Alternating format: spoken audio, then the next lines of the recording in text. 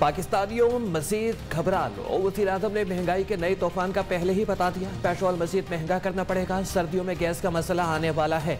इमरान खान का कौम से खिताब, कहा कि हाँ महँगाई है, लेकिन मैं क्या करूँ? दो खानदान लूटी हुई दौलत आधी भी वापस कर दें तो वादा करता हूँ कि खाने पीने की सारी अशिया की कीमतें आधी कर दूँगा। घी, आटा दालों पर 30 फ़ीसद सब्सिडी छह माह के लिए मिलेगी।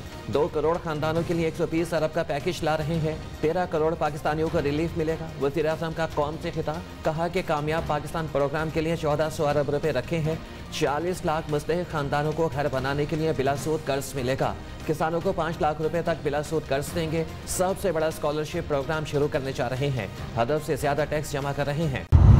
अवाम ने इमरान खान के खिताब को मायूस कन करार दे दिया। जनाब वज़ीर अजम रिलीफ ने तकलीफ़ नहीं। महँगाई ने जीना मुहाल कर दिया। बच्चों का पेट पालना भी मुश्किल हो गया। महँगाई डबल से भी ज़्यादा हो गई। और रिलीफ सिर्फ़ तीस फ़ीसद क्यों? शहरियों का सवाल। सालों में की एक सौ दस फ़ीसद, गैस तीन सौ फ़ीसद, बिजली साठ फ़ीसद महँगी की गई। तीस फ़ीसद रिलीफ का आवाम क्या करेंगे? आवाम को अब लॉलीपॉप नहीं, इमरान खान से हिसाब चाहिए। आवाम को झूठा और धोखेबाज वजी अजम नहीं चाहिए। चेयरमैन बिलावल भुट्टो का सख्त रद्द अमल, कहा कि पीटीआई का रिलीफ पैकेज आवाम नहीं, चंद खानदानों के लिए है। इमरान खान ने रिलीफ के बजाय आवाम के जख्मों पर नमक छिड़का।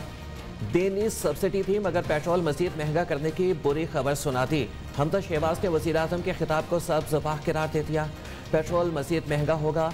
वाह, इमरान खान, क्या पैकेज दिया है? आवाम के लिए सबसे बड़ा रिलीफ इमरान खान का इस्तीफा है। मरियम औरंगज़ेब का जवाबी पार बाईस करोड़ आवाम को रिलीफ चाहिए, सिर्फ़ दो करोड़ को नहीं। इमरान खान ने तीन साल बाद भी पुराने वादे किए। मुल्क की हालत तशवीशनाक। वजी अजम बनीगाला को खुशहाल करना चाहते हैं। महँगाई खिताब नहीं, कारकर्दगी से कम होती है। पीपल्स पार्टी के रहनुमा शहरी रहमान का बयान, कहा कि चीनी बिजली, गैस भी आलमी सतह पर महँगी हुई है। वज़ीर बल्तियाल से नासिर शाह ने कहा कि विफाक वज़ीर सफ़ेद झूठ बोलते हैं कि महँगाई नहीं।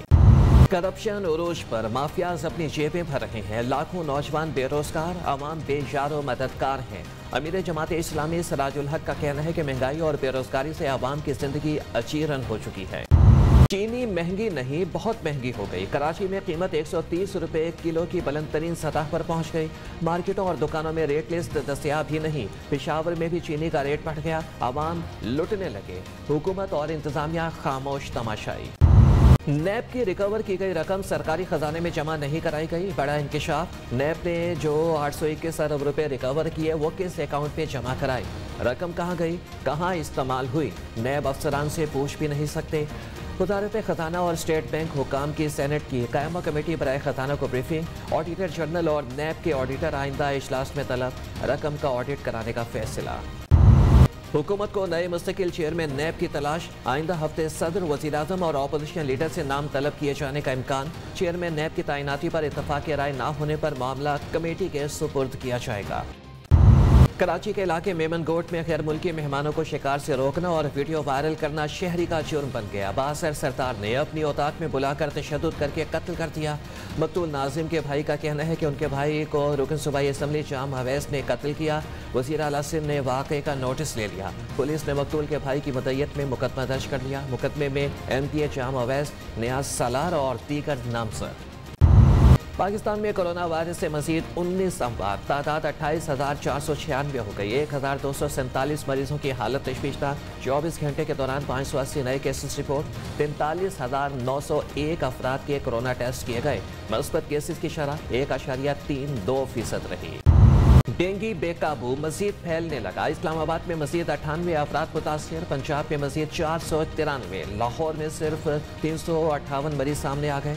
कराची समेत सिंध में डेंगू के सड़सठ नए केसेस रिपोर्ट। खैबर पखतुलखा में मजीद दो सौ सड़सठ अफराद में मूसी मर्ज की तस्दीक। हुकूमत और कलतम मसीबी जमात में माहे पर अमल दरामद। मजीद एक हज़ार से जायद कारकुनों की जल्द रिहाई का इम्कान। गुजरात में ग्यारहवें रोज भी ज़िंदगी मामूल पर ना आ सकी दरिया चनाब के पुल पर कंटेनर्स ताहाल मौजूद। ट्रैफ़िक की आमदोरफ्त मअतल सराय आलमगीर के मकाम पर ट्रैफ़िक बहाल, लेकिन खंदकें ना भरी जा सकी। कल अदम टी एल पी का एहतजाज क्यों नहीं रोका? C C P O Lahore Ghulam Mahmood Dogar के तबादले का इम्कान। वजी अला पंजाब ने तीन अफसरान के इंटरव्यू कर दिए। सराय का दावा। कोयटा में यंग डॉक्टर्स का एहतजाज तूल पकड़ गया। डॉक्टर्स ने ऑपरेशन थिएटर्स का भी बाइकआउट कर दिया। बलोचिस्तान के डॉक्टर्स एक माह से सरापा एहतजाज। मसीहा एक माह से अस्पतालों की मुतविजा निष्कारी और सहूलतों की अदम दस्तियाबी के खिलाफ एहतजाज कर रहे हैं।